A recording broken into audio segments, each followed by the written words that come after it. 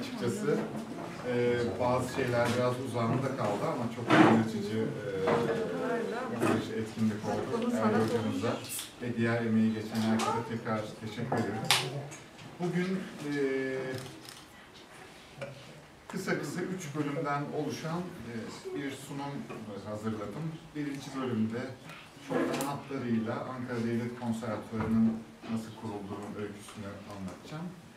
E, ikinci bölümde e, Devlet Balesi'nin biraz yapısıyla, öyküsüyle birlikte bilinmeyen hikayesini paylaşacağız. Üçüncü bölümde de bu e, etkinliğin ana temasına uygun bir şekilde dansçı bedeni üzerinden e, canlılık nedir biraz onu konuşacağız. Yaklaşık 15'er dakika. 45 dakikada bitirmeyi düşünüyorum. Sonra üzerinde özellikle son bölüm birlikte tartışabileceğimiz diğer bütün e, disiplinlerden gelen e, hocalarımızın, katılımcıların katkı sağlayabileceği, birlikte geliştirebileceğimiz bir e, bölüm olacak. Öyle tahmin ediyorum. Kayıt başlattın. E, şu kayıt baş şey kayıtta şu an. Evet. Ee, Orhan Pamuk'un Yeni Hayat kitabı var. İşte şey diye başlıyor. Bir kitap okudum, hayatım e, değişti. Ben de bir kişi e, tanıdım, hayatım değişti. Bugün de buraya sizin karşınızda bu sunumu e, yapmayı merhum hocamız Metin Hanım'da borçluyuz. 1990'ların ortasında bir biçimde bir program yapmak düşüncesiyle Metin Ant'la tanıştım. Onun o büyülü dünyasına adım adım yıllar içinde girdim. Sonra bir baktım ki e, hoca beni ittirmeden aslında tuzağa düşürmüş yemleyerek. Bayağı yemlemiş e, beni. Çaktırmadan üzerime bu bale tarihi yazma işini bırakarak aramızdan e, ayrıldı. E, 2008 yılında kaybettik. İşte 10 sene e, oldu hocamızı kaybedeli. Burada e, yani bu işleri hem biraz duygusal sebeplerle hem de e, Türkiye'nin sanat hayatına bir katkı sağlamak amacıyla yapıyorum. Hem de hocamızın üzerime sardığı yükü gücüm yettiğince, e, tabii bu tatlı yükten bahsediyorum, taşımaya çalışıyorum. E, uzun yıllar TRT'de prodüktör olarak çalıştım. Geçen sene emekli oldum.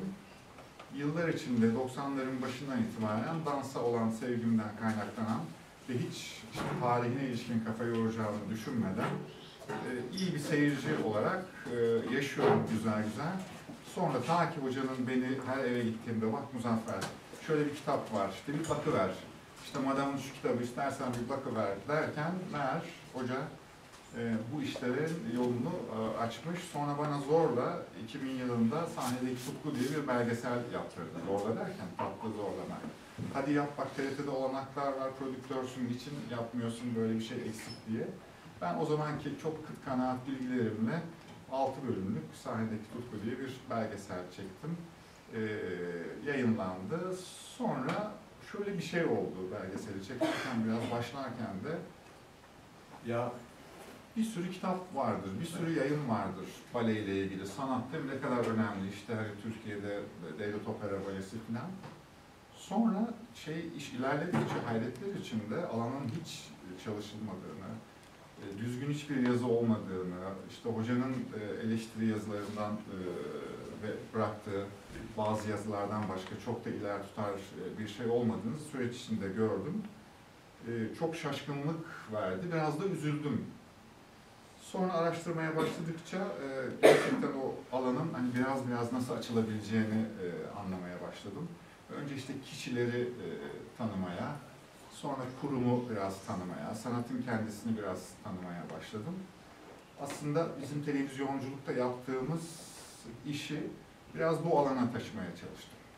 Biz diğer hocalarımız burada uzun uzun çok yoğun kuramlarla, e, çok yoğun bilgiler verdiler.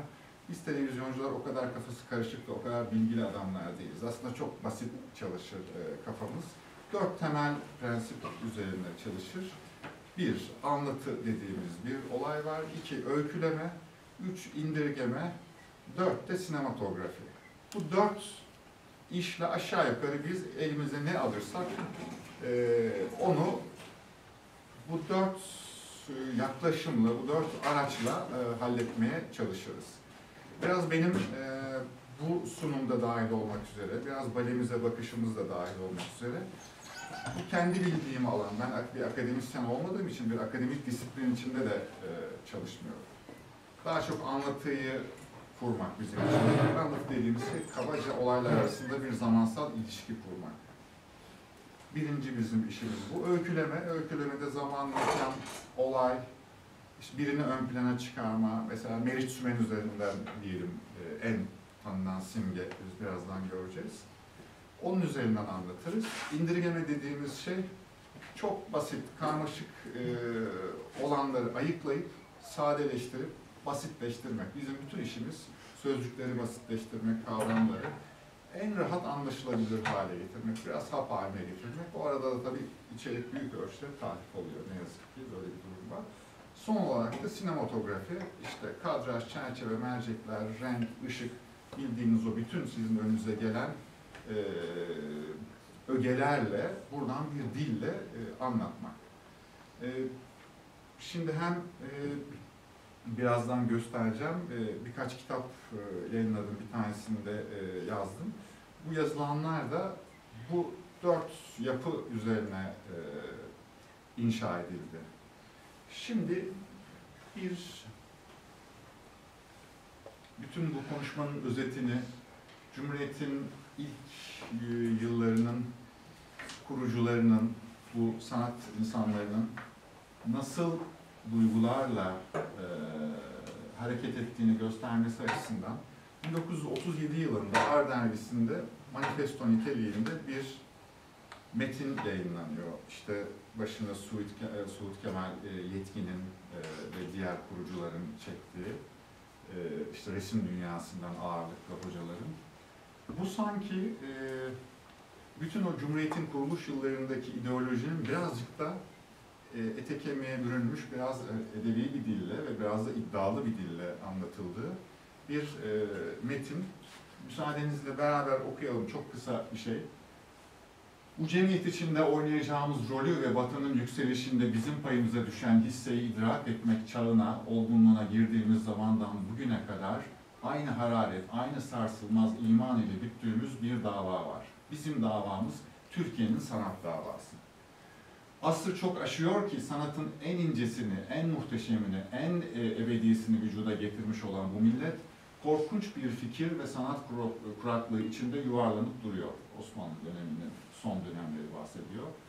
Güzel de ibda ve yaratma kudreti bir vücudu terk eden bir uzvu, bir uzvu terk eden bir hassa gibi bünyemizden, kafamızdan ve pazularımızdan ayrılarak kayboldu.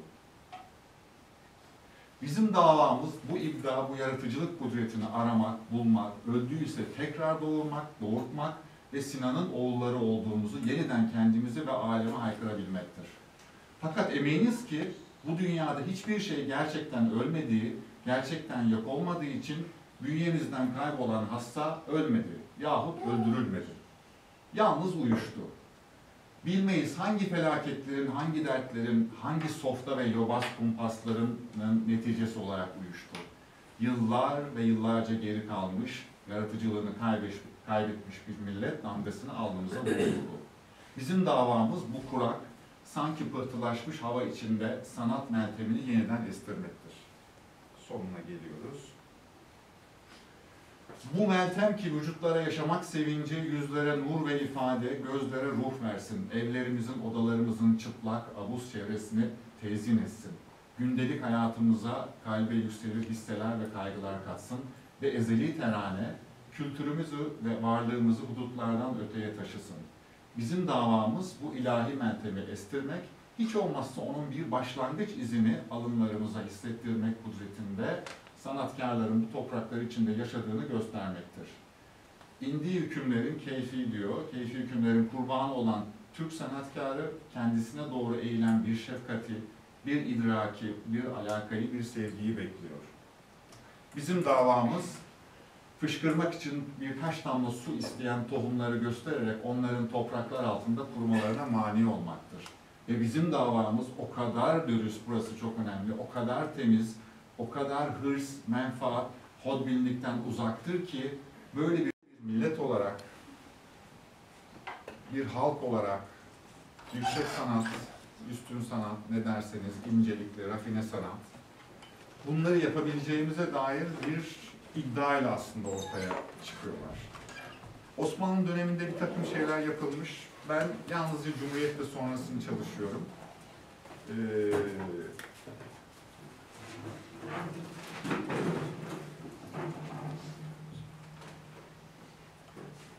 bu duygularla ekonomik krizin sürdüğü 1930'lardan bahsediyoruz. Cumhuriyet'in yeni ortaya çıktığı bir dönemde, daha pardon kriz de başlamadı. Cumhuriyet'in ilk icraatı 1924 yılında Musiki Muallim Mektebi'ni kurmak. Amaç aslında Avrupa çapında, Avrupa niteliğinde bir konservatuvar kurmak. Yıllar geçiyor, bir süre sonra bunun böyle gitmeyeceğini e, Cumhuriyet'in kurucuları, başta Gazi Paşa olmak üzere anlıyorlar. Diyorlar ki biz dört başı mamur bir e, konservatuvar kurmamız lazım. Bu öğretmen yetiştirmek, müzisyen yetiştirmekle olacak bir iş değil. 1930'ların ortalarında 34-35'lerde arayışlar başlıyor ve e, o zaman Ankara'nın atmosferi e, yaklaşık bu. Şunu da göstereyim. Musiki Muallim Mektebi'nin e, binası şu anda konservatuvarın da üzerinden şekillendi. Bu silinip şuraya Ankara Devlet Konservatuvarı yazılacak. 1936'da Almanya ile tarihsel bir yakınlık, tabi dil bilirlik, diğer ilişkiler devam ediyor.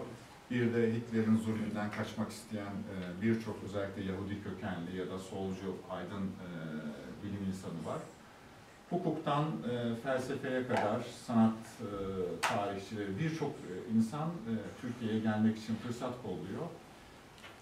Türkiye bu fırsatı çok iyi değerlendiriyor. Paul Hindemith'i çağırıyorlar. Paul Hindemith ünlü bir müzik insanı, hem teorisyen hem besteci, aynı zamanda e, icracı. Türkiye'ye gelerek bir rapor hazırlıyor. Yaklaşık 3 ay kalıyor. Daha sonra Karl Ebert geliyor, Max e, Reinhardt'ın e, öğrencisi. Çok tarihsel olarak e, Almanya'nın çöküş, Türkiye'nin yükselmek istediği bir dönemde bayağı ünlü isimleri Türkiye deyim yerindeyse renklerine, for- forma giydirip renklerine e, katıyor. Karl Ebert çok e, özel bir eğitimci.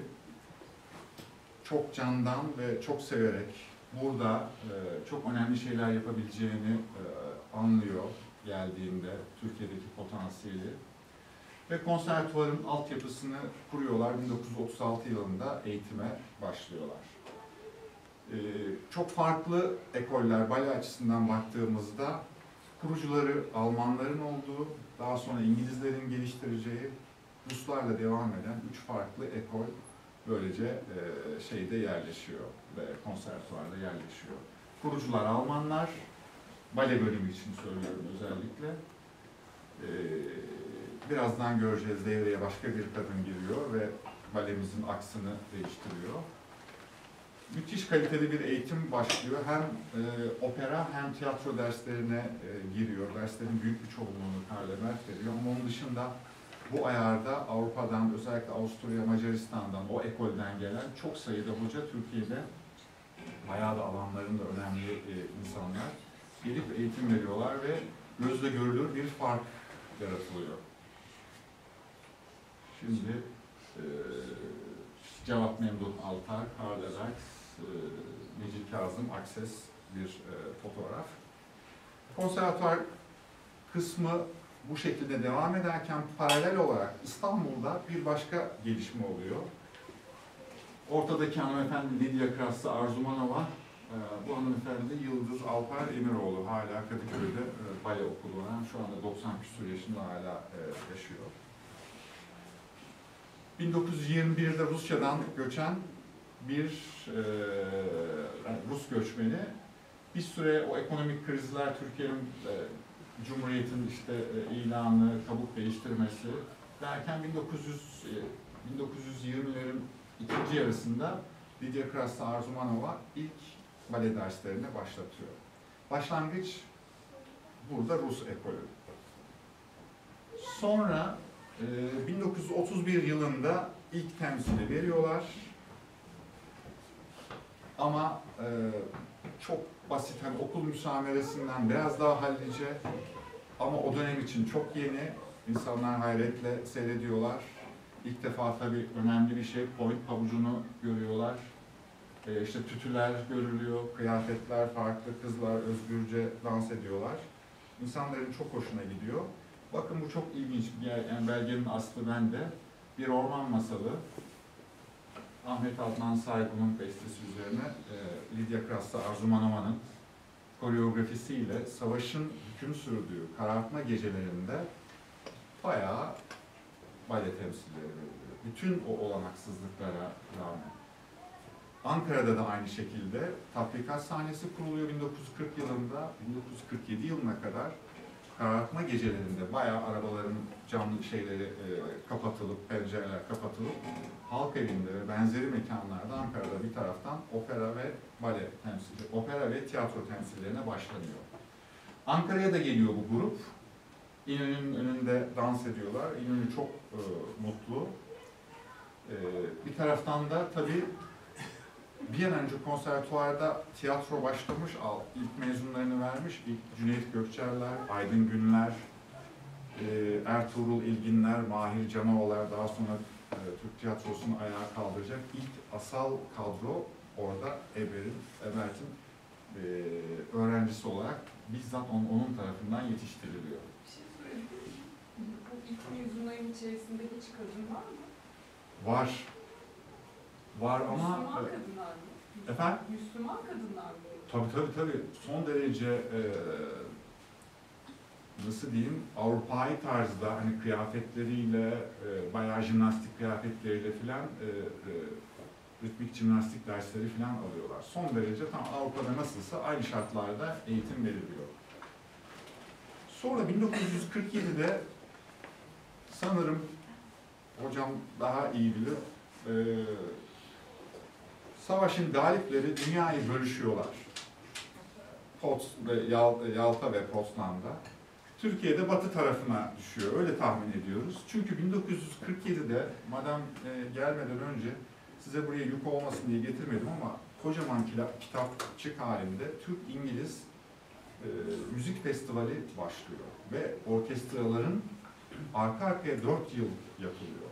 Yani daha Amerika uyanıp Türkiye'ye hücum etmeden bu marşallarla falan ilk İngilizler Bismillah deyip savaştan sonra hemen e, giriyorlar. Sonra e, kendisi Dave Ninette Valiva, bizim balemizin e, kurucusu. Asıl adı Idris Stanus. İrlandalıdır. Ama e, onun yetiştiği dönemde e, Sergei Diaghilev'in öğrencisidir ve dansçısıdır aynı zamanda. E, Fransız isimleri çok meşhur olduğu için şu e, hanımefendi daha sonra kitabını 2003 yılında yine hocanın işte beni yemlediği şeylerden bir tanesi. Bunu çevirip e, yayınladık. E, o dönem Fransız isimleri almak moda olduğu için kadının kendisi İrlanda kökenli, İngiliz balesinin kurucusu. Dame yani Sir'ın karşılığı olan e, kadınlara verilen ünvan ve e, adı Fransız. Böyle bir e, durum var. 1947 yılında Türkiye'ye geliyor ve e, birkaç ay kalıyor Ankara İstanbul'da incelemelerde bulunuyor. Sınıflara rastgele gösterilen yerlere girip e, tabii olağanüstü bir göz, gözü olduğu için yani şöyle şuradan göstereyim. Hani bakıp sen işte sen deyip çağırıp çocukları birkaç küçük kontrolden geçirdikten sonra bale okuluna alıyorlar. Bu arada şunu göstereyim. Yeşilköy Bale Okulu'ndan meşhur bir sahne bizim kitaplarda da yayınlandı. Bunun daha farklı versiyonları var. Aynasız, kötü bir yer. Ee, Yeşilköy'de bir konaktan e, dönüştürme bir yer. Şurada ucunu görüyorsunuz. saraydan sökülüp getirilen aynalar. Cumhuriyet'in koşullar tabii çok zor. Çok oportunist ve çok hızlı hareket etmek zorundalar. Bir stüdyo kurmak zorundalar. Başka fotoğraflar vardı da şu ayna. Yani şey aynası yok. Yani stüdyoyu şimdiki gibi kaplayacak miktarda bir ayna zaten o yıllarda yok. Hemen bulabildikleri saraylardan, konaklardan ne kadar büyük boy aynalar varsa onları getirip buraya diziyorlar. Birkaç sene önce oldu. Güre'ye, Gürelli, Gürelli, Aroba bunların bir kısmı vefat etti, bir kısmı yaşıyor. Ee, yani ne kadar şanslıyız. Burada 1947 yılında 5 yaşında başlayan e, Gülen Teke Başlan Efendi var. Antalya'da şu anda Stüdyo 1947 e, stüdyosunun adı işinin başında hala e, bale dersleri veriyor. Bale okulu bunu işletiyor. Bir de tütüğü yok galiba. Şort giymişler. Hani Şimdi eğitimlerde çocuklar ilk 2-3 yıl e, point de yok. Bunlar aslında e, point benzeri flat shoes'lar. E, daha henüz çocuklar parmaklarının ucuna çıkacak güçte ve teknikte değiller. O çok zor bir teknik. Yıllar içinde inşa ediliyor. O dengeyi bulmaları çok zaman alıyor. Bu olurken Ankara'da e, ne yazık ki çok yanlış bir kararla o güzelim sergi evi opera binasına e, dönüştürülüyor. 1948'de opera binası açılıyor. Bu sergi hali, sergi evi hali. Ve şimdi bir küçük şiirle e, bunlar e, şimdi konservatuara artık geldik. Madam geldi, altyapıyı kurdu. 1947'de süreç başladı. 1950'de diyorlar ki hadi bakalım siz Ankara Devlet Konservatuvarı'na gidin. Okulu oradan kapatıyorlar. Ankara'daki o yüksek düzeydeki eğitimin bir parçası olsunlar diye.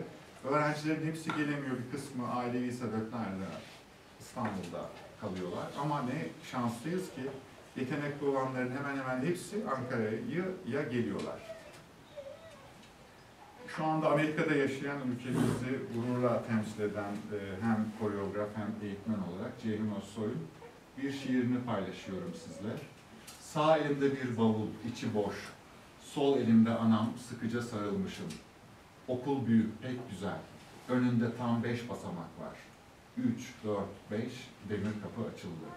Sanat nedir bilmeden girdik bizler içeri. Güven veren bu sarayda hem korunduk hem ovunduk. Yatak döşek verdiler, çarşaf bile serdiler.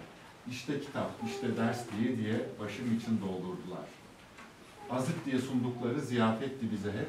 Yedik içtik yıllarca, masa bile silmeden. Şimdi giriyoruz. Biz de konservatuvardan içeri. Gerçekten beş basamaklı taş bir binası var oraya gidenler var mı bilmiyorum. Şimdi Mamak Belediyesi'nin bir e, kültür merkezi gibi çalışıyor. Ankara Devlet Konservatuarı yazar burada. Hocam kebap dükkanı olduğu söyleniyor. Evet, oldu. Arka Oo. tarafları e, ne yazık ki diğer döner odalar, e, döner odalar var. Sanatçıların Döner çalıştığı dönerci dükkanları oldu. Gerçekten oldu. Buradan işte böyle bir duyguyla giriyor. E, Gazi Paşa Cumhuriyet kimsesizlerin kimsesidir dendiğinde biraz ben böyle ilk zamanlar gençlik döneminde biraz havada kalan bir laf gibi gelmişti bana. Sonra konservatuvar sürecine baktığımda gerçekten öyle olduğunu gördüm.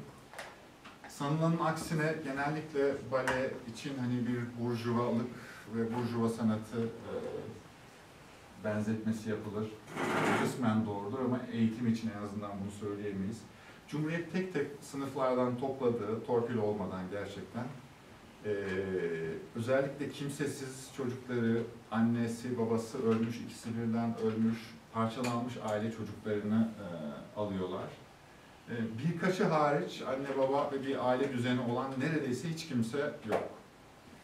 E, ve çok öyle geniş taramalar yapmadan işte az önce madamın sınıflara girip sen sen sen diyerek seçtiği gibi bu çocukları alıyor Cumhuriyet. Ee, ön grubun tamamı e, hayatta. Melih Sümen. En bilindik isim diye zaten fotoğraflarda da genellikle en ön planda o olur. Başlıyorlar çocuklarla bale dersine. Bir taraftan müzik öğreniyorlar, bir taraftan tiyatro, karakter dansları, makyaj, ee, büyük bir çoğunluğu piyanoda çalar. Bayağı öğreniyorlar piyano çalmayı da. Zaten kulağı ve iyi olmaz, ritim duygusu olmazsa zaten baleye almıyorlar. 10 tane parametre var seçerken kullandıkları. Bülent Ekebaş, işte 5 yaşındayken Yeşilköy'de başlayıp Antalya'da bugün hala işte e, 76, 77 yaşında, 78 yaşında yaklaşık. E, buradaki görüntüsü halen işinin başında. Hüsnü Sunal, uzun yıllar Devlet Balesi'nin e, baş koreografı oldu. Güloya Gürelli Aroba birkaç sene önce kaybettik. Madame Beatrice Appleyard'la başlıyor İngiliz bale eğitimi. Madame onu gönderiyor, sıkı bir eğitim başlasın diye. Kadın çok titiz, ayrıntıcı bir kadın. Çok tatlı bir otoritesi e, var. 1954'te Mithat Felmen'le evlendiği için aynı kurumda karı koca çalışmalı, çalışmayalım diye Beatrice Hanım ayrılıyor, Türkiye'de kal- kalıyor. Daha sonra Molly Lake ve Travis Kemp çifti geliyor 1954'te. Tam 20 yıl boyunca 1974'e kadar görevde kalıyorlar. Ve bugün star olarak hani gördüğümüz balenin ilk kuşağını bu ikili e, karı kocalar aynı zamanda bu ikili yetiştiriyor. Çok büyük emekleri var. Sonra Metin Ant'la çok kavgalar ediyorlar. E, hani mahkemelik şey olana kadar. Hoca çok ağır eleştiriler yönlendiriyor bu çifte. E, yine kızlardan bir grup artık konservatuvardalar. Çok güçlü bir İngiliz geleneği yerleşiyor. İngiltere'de White Lodge'da ya da diğer okullarda hangi eğitim sistemi varsa aynı kalitede birebir burada aynı eğitim uygulanıyor. Hepsinin iyi derecede İngilizcesi var. Bayağı öğreniyorlar. Hocalar sürekli İngilizce konuşuyor. Öğrenciler küçük yaşlarda İngilizceyi hepsi öğreniyorlar. Sizle bir şeyi paylaşmak istiyorum. Bu süreç başladıktan sonra 1900 Ee, 56 yılında benim şu anda kitabını yazmakta olduğum Sayit Sökmen, e, Afrika kökenli e, annesi tarafından Gaye Sökmen Ajans var ya bildiğiniz orayı, oranın kurucusu, eşi. Şimdi daha rahat okuyalım diye e, onun konservatuara bir başvuru mektubunu getirdim. Şöyle okuyalım. Bütün çocuklar baş, hangi bölümde olursa olsun önce bir niyet mektubu yazıyorlar konservatuara. Herkes ama. O niyet mektubu okunuyor, ondan sonra sınava çağrılıyor. O niyet mektubunun içine pul da konuyor, geri e, gönderilsin diye. Hangisi çünkü telefon falan yok, gazete duyuruları şu bu o da mümkün değil. Sınavların hangi tarihlerde olacağını öğrenebilmek için e, insanlar 2-3 hani mektuba yetecek kadar içine pulları koyup yolluyorlar çok ilginç örnekleri var.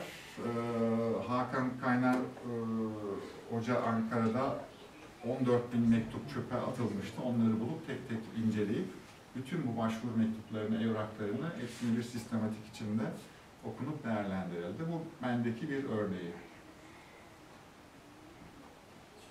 Bu şekilde, bakın şurada bir ipucu geliyor bize. Bir süre sonra ona değineceğiz. Faydalı bir eleman olarak mesleğimde yükselmek en büyük emelimdir. Bu arzumun gerçekleşmesi için diye devam ediyor. Bu çocuk daha 12 yaşında. Genellikle 8, 9, 10 yaşlarında. Hepsinin kendi el yazısıyla yazılmış mektupları. Bayağı bir kısmına ben de e, baktım. Abisi Cemil Sökmen'in muhteşem bir mektubu e, var. O da opera sanatçısı. Çocuklar işte biraz bilerek, biraz bilmeyerek ama niyetlerini bir şekilde bu mektuplara dökerek konservatuvardan sınav için e, haber alıyorlar, geliyorlar ve bu kapıdan adımını atanın hayatı değişiyor. Sayit Bey'in de babası vefat etmiş. Gerçekten e, kimsesizler okulu gibi diyebileceğim bir e, okul. Bale bölümü için özellikle söylüyorum. Tabii bu aynı zamanda gözetilen bir şey. Hani sa- şeyler hem yetenekli oluşu tabii ki çok önemli. Yani kulak olmadan bir keman bölümüne birini almaları söz konusu değil. Balede de tabii kıstaslar e, var. Ama hani çok katı kurallar uygulamıyorlar. e, özellikle e, sahipsiz, kimsesiz çocukları e, okula almaya çalışıyorlar. Çünkü yatılı okul, bakım çok iyi, yemek çok iyi. 9 yıl boyunca ücretsiz eğitim alıyorlar. Çok küçük de bir maaşları e, var.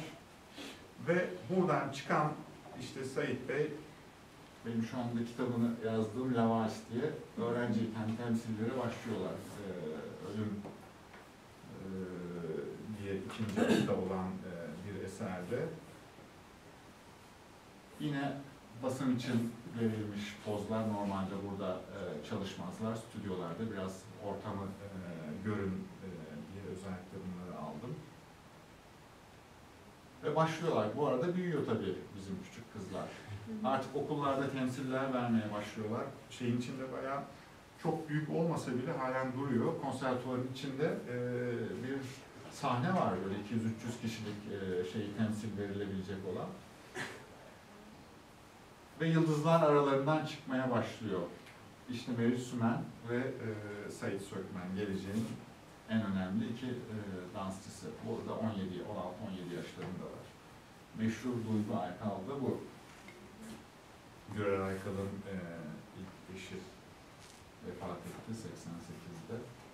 Şimdi buradan çıkanlar şiirimiz biraz uzun. Yani şiir denemesi daha doğrusu manzum bir metin diyelim Ceyhun Bey. Şimdi de burasını okuyalım. Artık girdiler o hayran kaldıkları okuldan. Ve mezun oldular. Kimi 6 senede, kimi 7 senede, kimi 9 senede. İşte genellikle ikinci sınıf bittikten sonra üçüncü sınıfa geçerken e, alıyorlar. O arada ilkokul eğitimi devam ediyor. Bir taraftan da e, bale eğitimine e, devam ediyorlar. Hemen Ankara'yı bilenler e, konservatuvarın karşısında İltekin İlkokulu var. Orada okuyorlar. İlkokul kısmını bitiriyorlar. Burası altın çocuk yetiştiren koskocaman bir ağaç. Pırlantalı, zümrütlü, ışıl ışıl yanan, kendi de bilir gibi hala gururla ayakta duran. Burası Ankara Devlet Konservatuvarı. Bizleri büyüten, bizleri insan yapan. Şimdi başka ellerde de olsan, daima içinde yaşayan tapınaksın sen. Böylece bana sen. Gerçekten birçoğunun hislerine e, ne tercüman olduğu için bu e, manzur metni ya da şiir denemesini e, sizlerle paylaştım. E, inanılmaz o sokaktan hani topladığı diyelim, sınıflardan topladığı çocuklarla o kadar iyi eğitimle öylesine bir e, sonuç alıyor ki çocuklar çıktığında dünyanın herhangi bir topluluğunda dans edebilecek düzeyde e, starlar, yıldızlar çıkartıyorlar. Ve mezun olan buraya geliyor. Az önce sergi kısmını görmüştük ya daha sonra şu eklentiyi yapıyorlar, burayı yükseltiyorlar. Şurada da kule vardı, o kule yıkılıyor. Burası çalışma mekanları.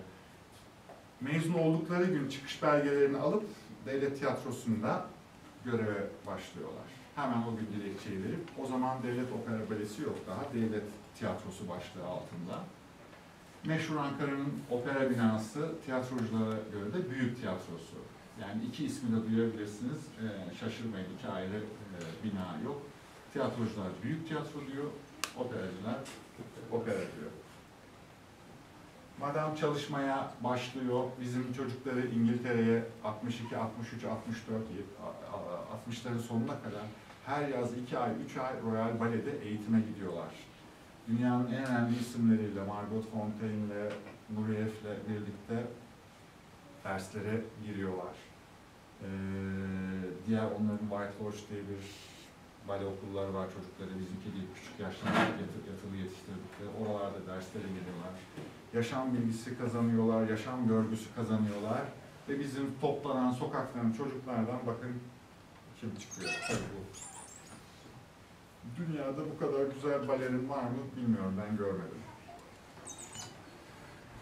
Meriç gerçekten böyle bir üst alt tarafı için aynı şeyi söyleyemeyeceğim biraz kalın bale dinlere ama böyle bir üst bale dünyasında ne Ruslarda ne İngilizlerde görmedik. Gerçekten büyük bir yetenek. 25 yıl boyunca Türk balesini e, domine ediyor. Hemen hemen bütün önemli rollerde, eserlerde başrol oynuyor.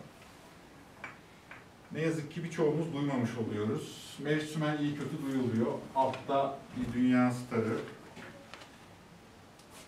Tanıyan var mı? Özkan Aslan. Özkan Aslan Nuriyev ayarında onunla Londra Festival Bale'de birlikte dans eden birinci kast, yani kastları. Balede bir şey söylemem lazım. Kast sistemiyle e, çalışılıyor. Tiyatrodan ve operadan farklı olarak. Operada da var. Yani o dizi, yani baledeki kadar yoğun değil. Sakatlanma ihtimaline karşılık ve farklı tavırlarla, farklı şekillerde dans edilsin diye her rolün mutlaka bir ikinci yedeği demeyeceğim. Çünkü sırayla dans ediyorlar ama birinci kast 10 temsil verilecekse bunun yaklaşık 6'sını, 7'sini birinci kast veriyor. Ya 3 ya da 4'ünü de ikinci kast veriyor. Mutlaka o rolü oynayan bir kişi daha hep hazırda bekliyor. Her an hastalanabilir, ayağı burkulabilir, kır- kırılabilir, herhangi bir şekilde başına bir iş gelebilir. Opera, bale dünyası, tiyatro gibi değil. Tiyatroda öyle bir şey olduğunda kastı, yedeği, yani yedek lafı yanlış, kastı ikinci, aynı rol için hazırlanan ikinci kişi demek lazım. O temsil iptal oluyor. Balede iptal olmaz. Ha, hemen yerine e, biri geçer. Böyle bir sistem. Bütün rolleri aynı anda iki kişi çalışır. Hoca ile birlikte. Biri çalışırken diğeri seyreder. İkincisinin çalışma süresi daha azdır. Çünkü gördüğü, hazırlandığı için e, olayı kısa sürede o da rolünü kapar. Özkan Aslan inanılmaz derecede yetenekli, çok özel. Yurt dışında bütün büyük e, balelerde dans etmiş, olağanüstü bir e, yetenek. Yani Türkiye'nin Nuriyefi diyebiliriz. Yine yani Jizel ve Meriç Sümen e, Özkan Aslan. Az önce şiirini okuduğumuz Ceyhun Öz- Özsoy uzun yıllar Türk Balesi'nde dans etti. Amerika'ya gitti. Amerika'da şimdi koreograf ve eğitmen olarak çalışıyor. Ee, bu yıl yetiştirdiği beş erkek öğrencinin hepsi Juilliard'a girdi. Amerika'daki bir numaralı bale okulu. Böyle hani e, torpille şeyle falan sokacağınız bir yer değil. Yani herkes oraya gitmek istiyor. Beşte beş yapan tarihte tek e, kişi. Bu da olağanüstü bir dansçı hoca. Yani bizim konservatuvardan yetiştirilen çocuklar bu. Yani elit tabaka çok iyi dansçı, çok iyi eğitmen ve aynı zamanda çok iyi koreograflar ve topluluk yöneticileri. Komple yetiştiriyor. Meriç Sümen, Ferit Akın, Türk Balesi'nin yitirdiği ilk büyük yıldız 1990'da e, vefat etti. 48 yaşındayken. Olağanüstü bir e, yetenek. Olduğu yerde e, çok özel bir hazırlık yapmadan, ısınmadan bile 13, 14, 15, 18 sayılamayacak derecede kendi etrafında e, dönebiliyor. Yani bunun için Meriç Sümen bizzat kendisi e, bir şey anlatmıştı bana. İngiltere'de gidiyor Royal Ballet'e derse giriyorlar. David Wall'la Ferit Akın girdiğinde bütün İngilizler, erkekler geri çekilirdi diyor. Onun çünkü tekniğiyle baş edebilecek kapasitede e, adam yok. Bir şey olduğu zaman madam ya Sait Sökmen birazdan onu da göstereceğiz. Ferit gel bir göster şu bizim çocuk şeylere, şu İngilizlere falan diyor. Madam kendisini e, Türk çocuklarının annesi olarak görüyor. İnanılmaz bir sevgi ve saygı. Bizimkilerin terini siliyor, İngilizlere de köpek çekiyor. Çok acayip bir şey. İngilizler gördüğünde şeyde kaçıyor, halk şeylerini alanlar, bornozları şey yapanlar falan. Bizimkiler o madam falan deyip yanaklarını sıkıyorlar, şaka yapıyorlar, eğleniyorlar. Kadına arkadan müziklik yapıp eterini çekip bilmem ne. İngilizler böyle hayretler içinde bakıyorlar. Kadın için şey deniyor, yarı melek, yarı şeytan diyor. Türkiye'de kesinlikle melek tarafını gösteriyor, olağanüstü. İngilizlere de şeytan. Herkes kaçıyor ve tehlikeli. Hiç yüzleşmek istemiyorlar. Herkesi eleştiriyor, beğenmiyor falan. Ama bizimkilere e, şey gelip e, prova sırasında, ders sırasında terini silecek kadar e, bir sevgi var. Yine Ferit Akın'ın bir pozu rahmetli Osman Darca'nın çektiği, o da çok genç yaşta e, vefat ediyor. Sayın Sökmen ve bizim işte dünyalar güzeli Gülcan Tunç Çekiç tüm zamanların en olağanüstü doğal yeteneği ne yapsa elini şöyle kaldırdığında bile bale olan olarak en az sıkıntılı eğitim olanakları ve üst üste çok kötü niteliksiz komutların bir kısmı gece kondu bile sayılamaz. Tereke yapıların olduğu bir yer ve oranın tam göbeğine gidip Altındağ Tiyatrosu açılıyor ve böyle bir dil yani bu gördüğümde e, gözlerim e, şey oldu, buğulandı öyle diyeyim. E, Böyle bir ruh haliyle, böyle bir e, nasıl diyeyim e, etik değerlerle, iş değerleriyle inşa ediliyor ve Türkiye'nin e, bugünkü hali almasında konservatuvarın ve e, oradan yetişen sanatçıların çok önemi var. Ben biraz e, sanki adlarını duyduk, duyduğumuzda, kendilerini gördüğümüzde aile e, albümümüze bakıyormuş hissini veren konservatuvar mezunlarından bir demet okuyacağım. İçinde baleciler yok yalnızca diğerleri de. Bakalım şimdi aramızda buradan kimler geçmiş ve hayatlarımıza nasıl dokunmuşlar. Ünlü şefler, Hikmet Şimşek, Yürer Aykal, Erol Erdinç, Rengin Gökmen, İbrahim Yazıcı işine geri döndü, atılmıştı. Gelelim oyunculara. Cüneyt Gökçer, Yıldırım Önal, Yıldız Kenter, Müşfik Ken- Kenter, Kerim Afşar, Ayten Gökçer, Kartal Tibet, Arsen Gürzap, Alev Gürzap, Zafer Ergin, Ejder Akışık, Çetin Tekindor, Alev Sezer, Rüştü Asyalı, Keloğlan, Levent Kırca, Bozkurt Kuruç, Selçuk Yöntem, Mazhar Alanson, Haluk Bilginer, Zuhal Olcay, Derya Baykal, İsteri Betil, Işık Yenersu, Levi Bilgin, Mahir Günşiray, Levent Ülgen, yakın döneme geliyoruz. Ahmet Mümtaz Taylan, Mehmet Ali Erbil, Zafer Algöz, Erdal Beşikçioğlu, Behzat. İlyas Salman. Birçoğumuz belki ilk defa duydu konservatuvar mezunu. Engin Günaydın. Yaşamımızdan bunları çektiğimizi düşünelim. Yönetmenler, birkaç çok seçme isimleri söylüyorum. Yücel Erten, Bülent Orhan, senaryo yazarı. Bestecilere bakalım. Ferit Tüzün, Muammer Sun, İlhan Osmanbaş, Nevit Kodallı, Kemal İlerici. Ve olağanüstü bir yetenek. Turgay Erdener. Piyanistlerden birkaç isim yalnızca. Fazıl Say, Sabahattin Ali'nin kızı Filiz Ali, Burçin Büke. Gelelim birkaç daha medyatik isme. Pamela Spence, rockçı Özlem Tekin, opera sanatçılarımız mezunlar arasında Ruhi Su, bir kişiyi söyleyeceğim, geçiyoruz. Balecilere gelelim. Bu isimlerin bir kısmını hani izledi, şey gördü, fotoğraflarını gördük. Meriç Sümen, Gülcan Tunç Çekiç, Ferit Akın, Sait Sökmen, Tanju Tüzer, Özkan Aslan, Ceyhun Öz- Özsoy, Can Türk Sakarya, Yener Durukan. Yakın döneme gelelim biraz. Tansa Türk, Ayşem Sunal, Tunç Sökmen, Uğur Seyrek, Emre Sökmen, Bahri Gürcan, Serhat Güdül, Özge Başaran, Kadir Okurar. Bu saydıklarım aynı zamanda dünyanın bütün büyük balelerinde başrollerde oynamış insanlar. Bir tek Gülrü Sururi yok galiba. Efendim? Bir tek Gülrü Sururi yok galiba. Çok sayıda insan var. Ben böyle en hani olabilir şeyi kontrol etmedim. Yani elimde mezuniyet e, mezunlar listesinden hemen hızlı hızlı böyle Yani bir en var evet evet daha çok isim var.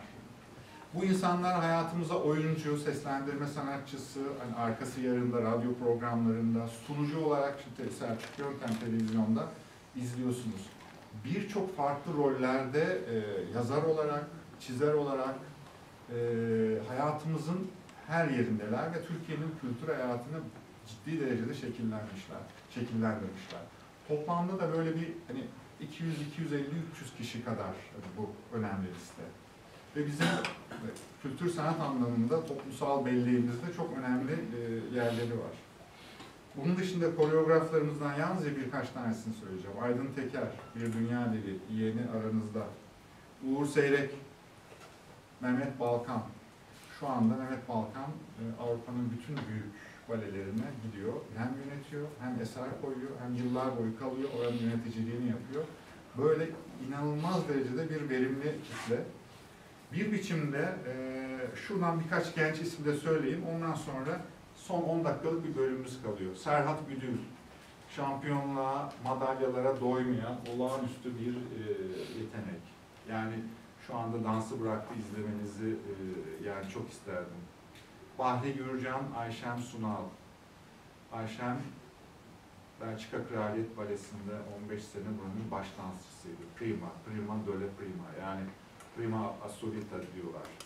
Kadir Okurer son dönemde girdiği hemen hemen bütün yarışmalarda e, altın madalya Grand Prix kazanıyor. İkinci gördük, çoğunlukta da ikinci oluyor bazen de. O ikinciliklerde genellikle son dakika operasyonlarıyla Kadir'i e, ikinciyle, yani birinci yapamıyorlar, e, el vermiyor şartlar. Kadir'i ikinci yapıyorlar.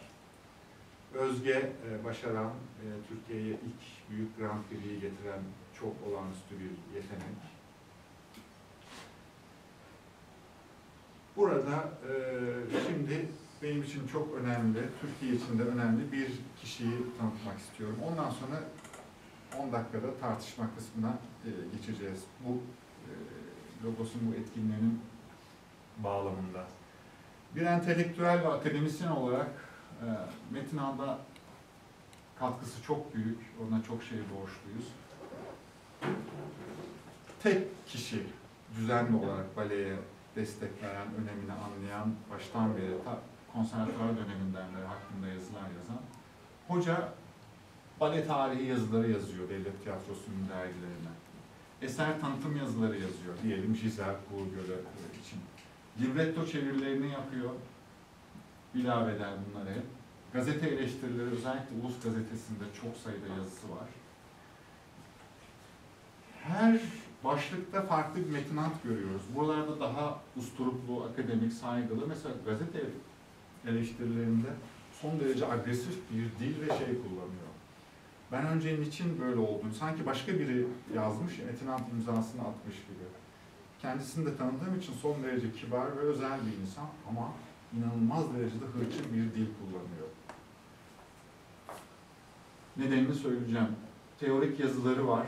Forum dergisinde, Opus dergisinde sayfalar dolusu baleyi teknik analizleriyle, balenin bale tekniğini anlattığı yazıları. Eser yapımlarına danışman olarak e, destek veriyor yapımına her türlü. De komisyon çalışmalarında, kuruluş değerlendirme, mevzuat hazırlığında her tarafta onu görüyoruz. O hırçınlığı iyice sonra anladım ben hani e, bu yazılarını iyice inceledikten sonra. Ta başlangıçtaki bizim davamız meselesi var ya aslında aynı düşüncelerle hareket ediyor. O kodlar hiç değişmiyor. Bir iddiaları var. Biz dünyada bu iş nasıl yapılıyorsa aynı kalitede yapabiliriz arkadaş.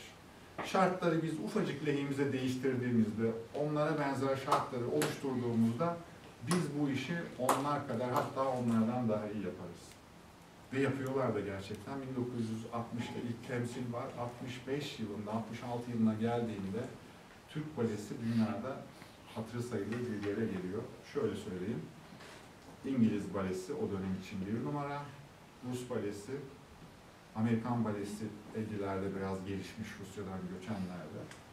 Dördüncülüğe Türkiye başını sokuyor. Biraz Fransa var. Bunlar çekişiyorlar. Hani o yıl Fransa mı daha iyi, biraz Türkiye mi daha iyi? Almanya'nın falan esamesi yok. Bizim en az 15-20 yıl e, gerimizde. Nereden biliyoruz? Türkiye'den giden dansçılar seçmelere, audition'a gittiklerinde daha ilk birkaç hareketi e, yaparken hemen ayrılıyorlar ve, ve odaya çağrılıp kontratlar önlerine konuyor. Lütfen burada kalın. Size işte yüzde yirmi daha fazla maaş verelim. Bunlara 2000 mark veriyoruz ama siz işte 2500-3000 marka kalın diyor. Kapış kapış özellikle erkek dansçılar gidiyor ve yurt dışına gidiyorlar. Metin Alt bu süreci inanılmaz destek veriyor ama yalnız e, yalnız kalıyor hoca bu süreçte. Bale bütün bu başarısına rağmen bir tiyatro kadar, bir opera kadar saygın bir noktaya gelemiyor. Şimdi birlikte biraz tartışalım.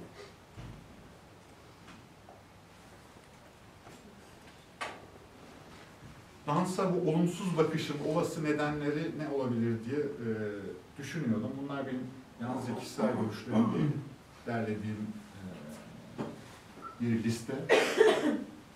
Bedenin değersiz ve fani olduğu görüşü dün hocalarımız anlattı. Kalıcılığı olmaması, somut bir iz bırakmaması, bu maddi kültür meselesi, geriye bir iz, bir bina, bir nesne, bir resim, bir heykel kalmıyor. Anlık oynanıyor, onu görenler, o ana tanık olanlar o hazzı yaşıyorlar, bir daha tekrarlanması mümkün değil. Üç gün sonra aynı işi bir daha yapmak zorundasınız ve hep aynı mükemmellikte yapmak zorundasınız. Bir gün iyi, bir gün kötü olma şansınız yok. Dans etmenin ilkel bir dürtü olduğu, düşük seviyeli bir ifade biçimi olduğu yargısı var. Çağlara ve toplumlara göre çok fazla fazlalık gösteriyor. Anlaşılması üzerinde akıl yürütülmesi hani biraz zorlaşıyor. Dansçıların entele, entelektüel düzeyinin düşük olduğu kanaati ve kısmen doğru. Onun sebepleri de var. Dansçıların içe dönük yapısı bir kumpanya geleneği olarak fazla dışarı açılmıyorlar. Evlilikleri, ilişkileri de kendi içlerinde. Ee, dansçıların kendi öykülerini, sanatlarını anlatamamaları, yazmamaları bu önemli bir e, mesele. Tiyatro ile ilgili böyle bir sorun yok. Balyalar dolusu, e, raflar dolusu tiyatro ile ilgili sözlüğünden teorisine kadar yüzlerce, e, belki toplasanız Türkçe bin tane kitap vardır tiyatro ile ilgili. Dinsel yasaklar, gelenekçi zorbalık, işte cinsiyetçi yaklaşım, erkek adam dans mı eder, tight giyersen işte tırnak içinde söylüyorum ibnesin e, ya da işte oranı buranı e, açıyorsun. Özellikle tütüde işte apış arası gö- görünme mevzu. Bunlar kadar önemli olmasa bile dansın, dansın müziksiz olamayacağı görüşü, var olabilmesi için bir başka sanata ihtiyaç duyması iddiası. Bu bale için geçerli. Müzik olmadan bale olmuyor. Genellikle bale kitapçıklarını aldığınızda Kuğu Gölü der, Tchaikovsky der. Tchaikovsky altına Kuğu Gölü yazar. Koreografi aslında o baleyi yaratanın adı yoktur genellikle afişte bile.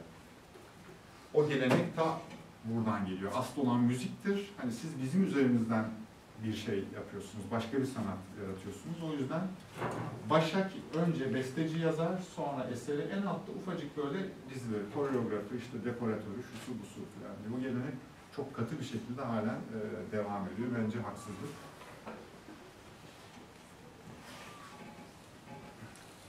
Şimdi birlikte birazcık e, konuşacağımız bir sanatçı olarak dansçının tavrını belirleyen ögeler. Lütfen herkes e, burada hani katkı e, sağlasın, birlikte bakalım. Dansta tavır denen bir şey var. Bir örneği göreceğiz Nuriyet üzerinden.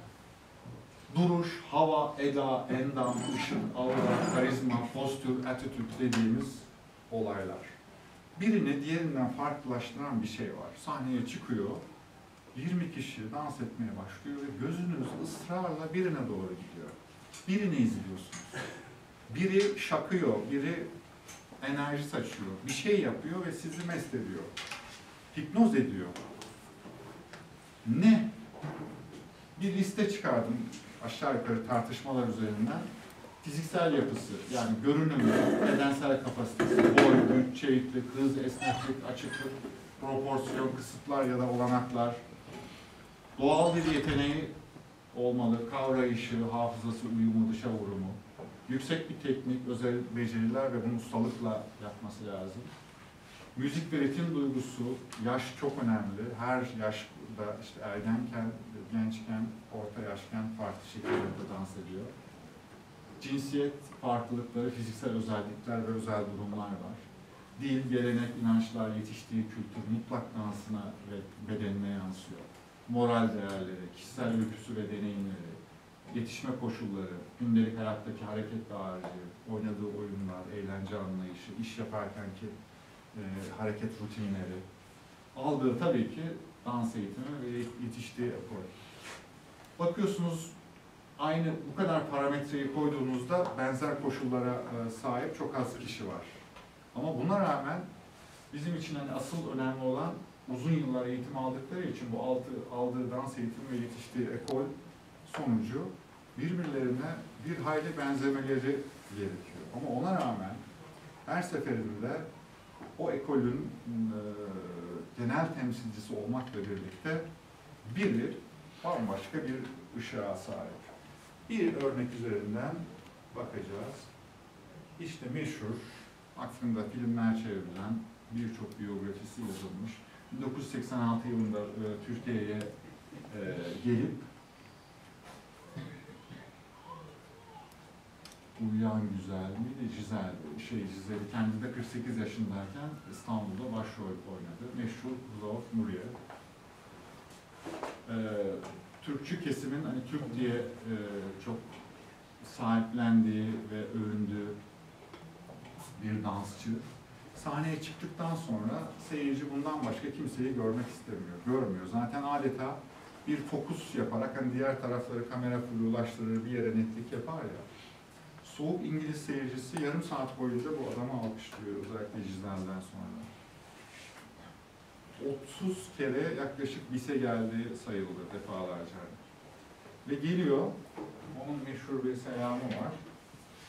Geldiğinde şöyle sol elini kaldırdığı bir selam var. Seyirci şöyle bakar. Ve insanlar ağlamaya başlıyorlar. Bayağı hüngür hüngür böyle salya suyu.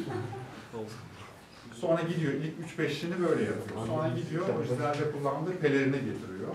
Pelerinle şöyle bir tarar seyirciyi, bir uç tane biraz sahne büyük ya, şuradan girer. Şey, perde, e, pelerini tarar. Millet yerlerde, kadınlar e, dekolteleri ıslanacak kadar zaten hazırlıklı geliyorlar mendillerle falan böyle. Ondan sonra artık çıkıp böyle bir de şey seyircinin üzerine böyle bir yürüdüğü şey sahne vardı şöyle durur poz diyoruz pozlar diyoruz. Tarkan. Bir e, artık hani Jizel, bale falan bitiyor bir ayine dönüyor. bir kısmının ben sırf o selamı e, seyretmek için gittiğini düşünüyorum. Çünkü 3-5 kere gidenler var. Yani eseri biliyorsunuz. Performans aşağı yukarı belli. O anı tekrar tekrar yaşamak istiyor. Yakından e, görmek istiyor. E, işte neye dönüştürüyorlar bir bakalım. Şöyle bakalım. Ne farklı acaba bu adamda? Tatar kökenli, ailesi Müslüman, işte Türk bazılarına göre, onun için çok yetenekli. Vallahi bu sağ çok ciddi şey. İzmir'den kalkıp Ankara'ya sırf bununla görüşmeye, şey bunun diyorum, İrek Muhammedov hastası. Biri kalkıp geldi. İrek Muhammedov da Rusya'dan kaçan üçüncü kişi Barışnikov'dan sonra. O da aynı ekolden, o da e, Türk, yani Tatar kökenli. Tabii acayip bir mağrurluk, acayip bir hava, e, Rus oluşundan kaynaklanan o getirdiği bütün tarihsel birikimi, o derinlik, o uçsuz bucaksız platolar, ülkesinin coğrafyasına duyduğu güven, diline duyduğu güven, işte Rusçu şeyler çok okuyan acayip biri İngiliz, İngiltere'ye göç edip geldiğinde e, tabii diyor işte Anna Karenina'da işte bir şeyler anlatıyor filan. Tabii diyor siz hepiniz okuduğunuz için hani Anna Karenina'yı çok yani detaylı anlatmama gerek var mı diyor. Tabii İngilizler bakıyorlar. Asla hani bir İngiliz balecinin Anna Karenina'yı okuması hani olay Rusya'da geçiyordan öteye gitmez okuması mümkün değil. Adam bütün klasikleri e, okumuş. Pat üç e, kuple bir şey duyduğumda işte Çaykovski'nin ha bilmem de şuradan B kısmı falan e, diyor. Öyle bir adam tabii bütün o birikim az önce saydığımız her şeyi görüyoruz. O yüzden e, bir de bale gibi rafine e, insan bedeninin en uç olanaklarına kadar kullanıldığı bir e, dans. Yani bütün insan eklemine, insan anatomisine göre şekillendirilmiş yaklaşık 500 yıl rafine edilip enine deline yapılmış bir e, sanat. Burada aramızda e, Soner Özsu hocamız var. Kendisi anatomi, hareket bilimi ve biyomekanik hocasıdır. E, benim de hayatımda yani üçüncü evre e, hayatımı değiştiren kişilerden e, bir tanesidir. İşte böyle bir mağduriyet içinde böyle bir sanatçı yetişiyor. Peki dansı kaybedersek ne olur? En eski, en arkaik ifade biçimimizi kaybederiz. Bildiğimiz ilk dil olduğunu varsayıyoruz hareketlerle, dansla, hareketlerin tekrarıyla oluşan bir dil. Bedensel ifademizi, hareketlerle yarattığımız sembolleri ve bunlarla kurduğumuz iletişimi unuturuz sanki. Neşede ve ölümde, hüzünde, ölümde ve dirimde duygularımızın ifadesini artık böyle güçlü ve doğrudan bir dille yapamayız gibi sanki. Bedensel farkındalığımız azalır. Eros kaybolur, belki de yok olur. Önemli bir uyaranı, belki de iyi olur bilmiyorum. Önemli bir uyaranı ve bedenini geliştiren bir egzersizi kay- eee, şey yaparız, kaybederiz. Birkaç dakika fırsat olursa eee, Soner hocamız bunun neden önemli olduğunu anlatır. Hareketliliğimiz azalır, yaşam enerjimiz solar. Çıkaralım hayatımızdan her türlü dansı, baleyi da şey söylemiyorum. Hani bisikletinden düğünlerde oynanan işte kadınların göbek dansına kadar. Davranış estetiğimiz azalır, hareketlerimiz kabalaşır. Dans sayesinde birçok gündelik hareketi rafine ediyoruz aslında. Müzik artık başka bir anlam kazanır artık. Yani onu duyduğumuzda oynayacağımız bir şey değil, yalnızca dinleyeceğimiz e, bir şey. Şöyle bağlayayım. Çok teşekkür ederim. Ee,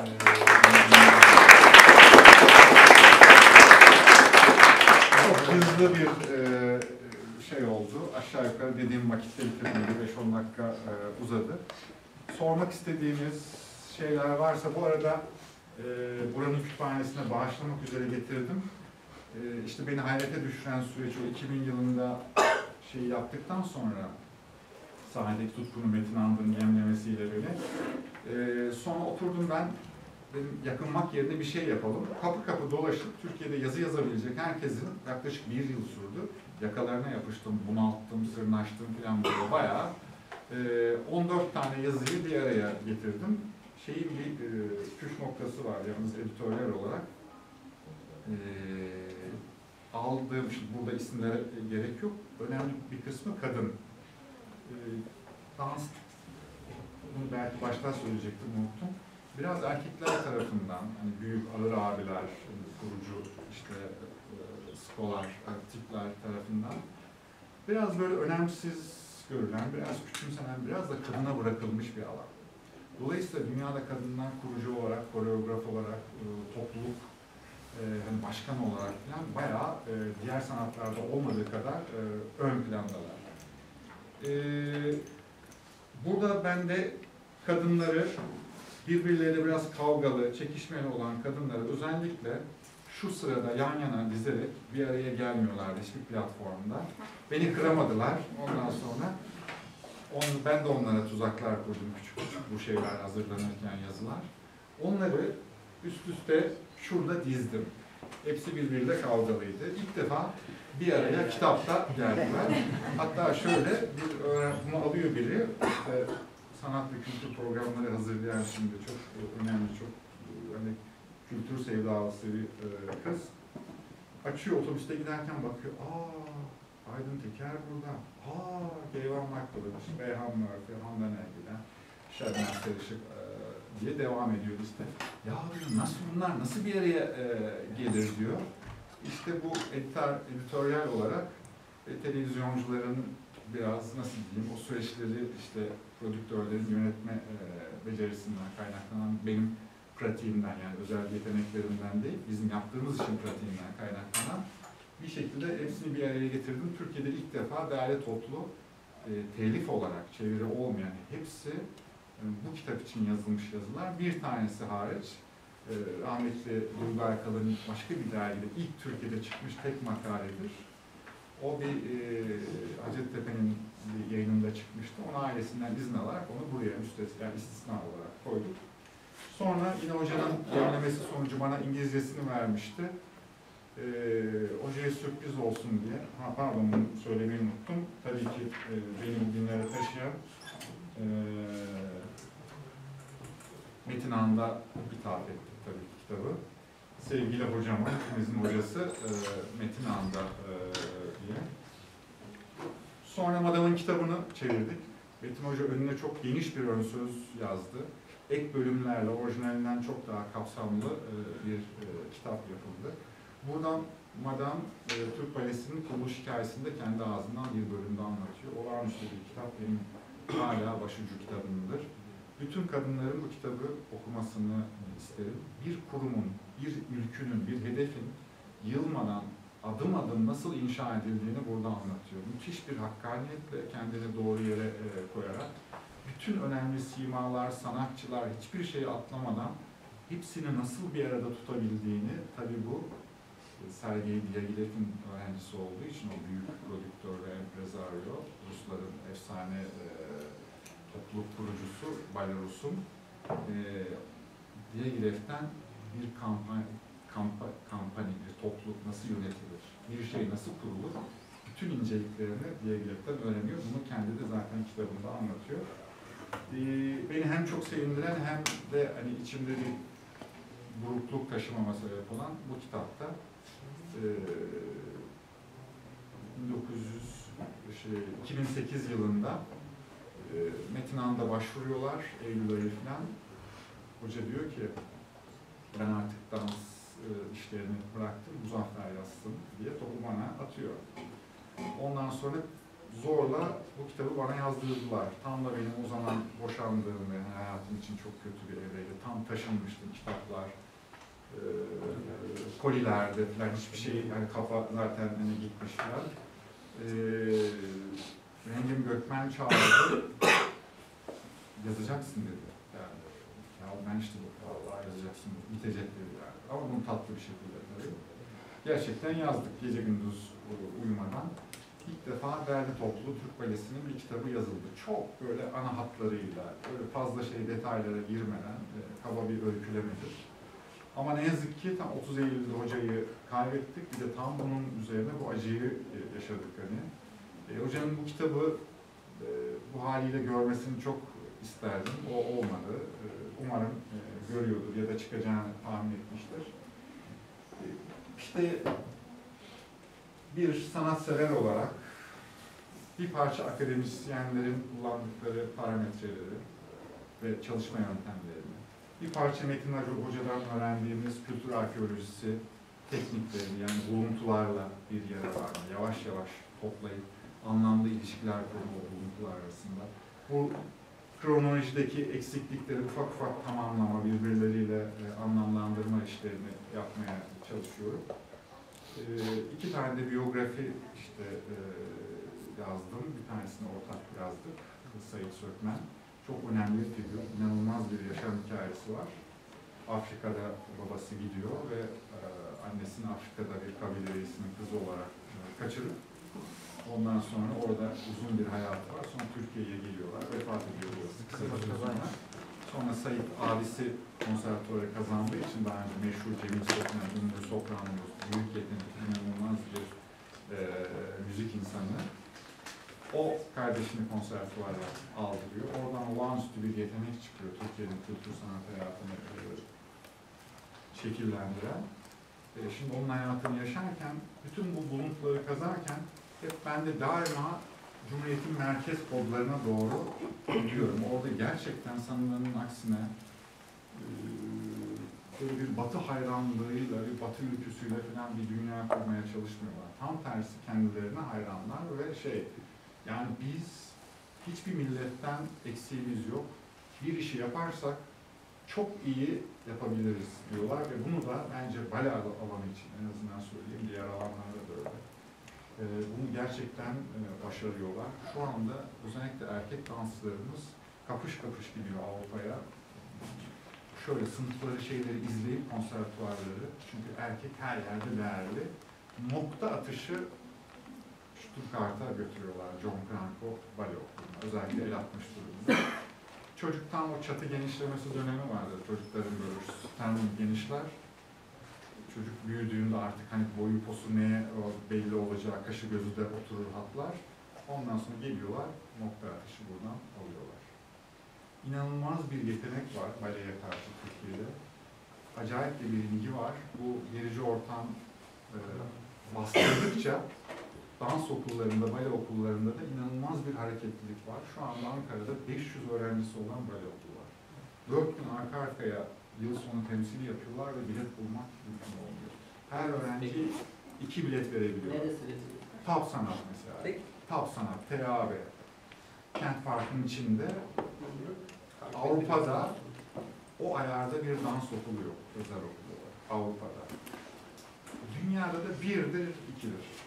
Öyle bir yer böyle. Kaç tane stüdyosu var belli değil. İnanılmaz bir eğitim veriliyor. Çok acayip hareketli, bir sürü hiçbir destek almadan tamamen kendi çabalarıyla onlarca bale okulu kuruldu ve